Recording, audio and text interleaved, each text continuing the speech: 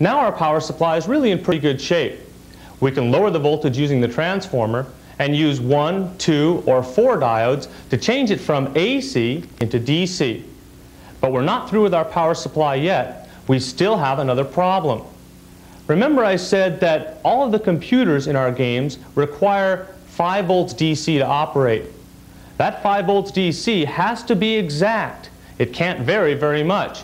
You have a tolerance of about a quarter of a volt either way, but that's really about it. Well, if we look at a graph of our output from our power supply now, we can see that it's still pulsating DC. That is, the voltage still drops to zero every 120th of a second. To help maintain a constant voltage to a game computer or a sound system, we use a part called a capacitor.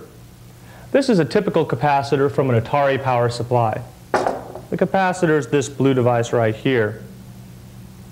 The capacitor is like a short-term battery that accepts a charge when there's power available to it, but when the power output from the diodes drops down to zero, the capacitor takes over and keeps that voltage constant across the rest of the devices in the game, such as the computer or the sound system.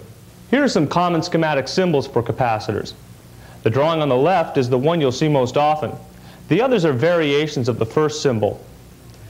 You'll notice that some of the capacitor symbols are marked with a plus sign on one end. Many capacitors are polarized, which means that, like a battery, there's a positive end and a negative end. If a capacitor is polarized, it will be marked with a plus or minus sign. It's easy to understand how a capacitor works if we do this simple experiment. I'm going to connect this capacitor to this lantern battery. When I connect the red clip lead, which is the positive lead of the battery, to the positive terminal of the capacitor, the capacitor should now be fully charged. It doesn't take very long to charge the capacitor. If I disconnect the battery now and connect it to this lamp, we should see the capacitor discharge across the lamp. And we should see the lamp glow very bright for a brief period of time and then dim out as the capacitor discharges. Watch. Pretty neat, huh? Well, let's connect this capacitor to our full wave center tap power supply and see how it operates in a normal working circuit. The positive lead of the capacitor, which you can identify by the straight horizontal line and the positive sign, is connected to the positive output of the diodes. We know this is the positive output because the two cathodes are tied together. The negative lead of the capacitor is grounded. Do you see the resistor that's been added to the output of the power supply? The resistor is labeled RL. This stands for load resistor. The load resistor represents whatever it is that the power supply will be powering. It could be a logic board or a sound system or a monitor circuit or just about anything else that uses direct current. Anything that provides power in a circuit is called the source. Anything that uses the power provided by the source is called the load. Let's look at the power supply now and see how it works. When the output voltage from the diodes is at its peak, current flows not only through the load, but into the capacitor as well.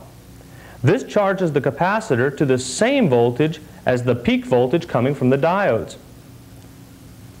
When the voltage from the diodes drops, the capacitor, which is now fully charged, takes over to keep the voltage constant across the load. The capacitor acts as both a load and a source in a power supply. First it takes the current in as it charges, and then it becomes a source as it provides current to the load when the voltage from the diodes drops to zero.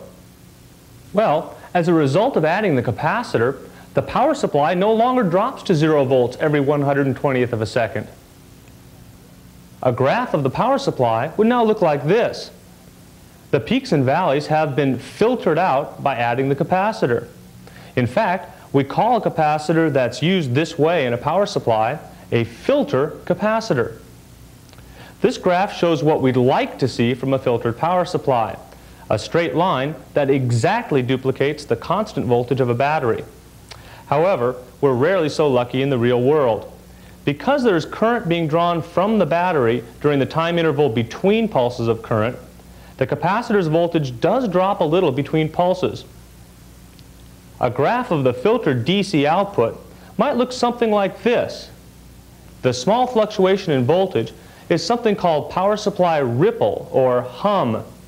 The term ripple comes from the fact that it looks like a rippled line when we see it in graph form, as we would if we were looking at the power supply with an oscilloscope.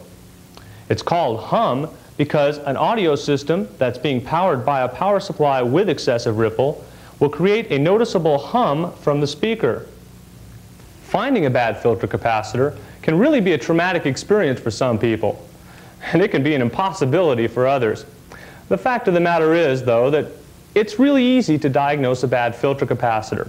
We'll be looking at the power supply filter capacitor test a little later on in the course.